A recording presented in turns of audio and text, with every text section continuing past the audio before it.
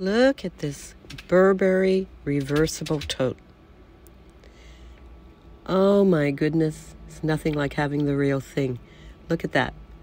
You can have the plaid look outside, turn it inside, and it's the leather look. Just look at that. Comes in different colors. It's just beautiful. They're expensive, but oh my goodness, they are cool. You should look at it.